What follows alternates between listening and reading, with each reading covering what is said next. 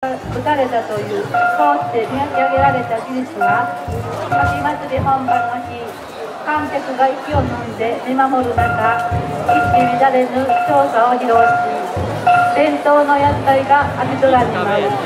そしてその屋台は金銭の取れた姿形をしており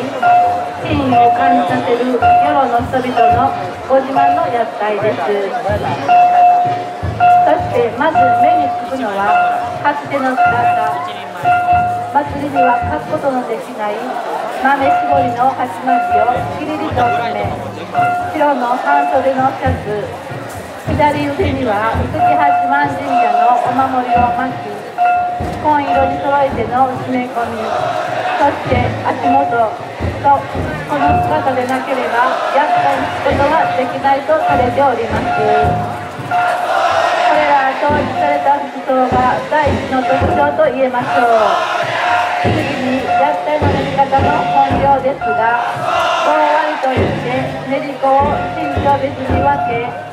全員が力を出し切れるように配置し調査に入るとき左右の足の位置が決められ虐待を下げるとき必ず左手の肘の内側で受けるなど厳しく指導されるそしてある時は静止しまたある時は懸命に走る躍動ぶりはまさに生と道路が心地よいほど結びつき豊かな表現と優勝ぶりが観客の目を引きつける魅力と言えましょう世の町内の伝統として引き継がれてきたものは世の中がいかに変わろうとも古き良き文化を子孫に伝え融和昭和全体の意識の中に育ち栄えく道こそがこの氏神様の秋祭りが表現してくれているのではないでしょうか。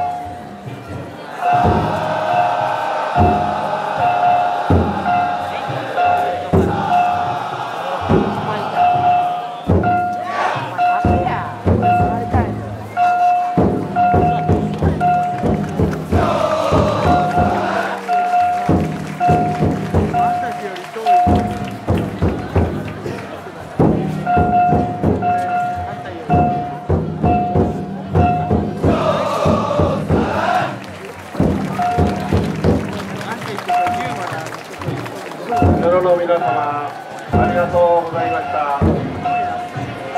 夜の皆様ありがとうございました。お気をつけて。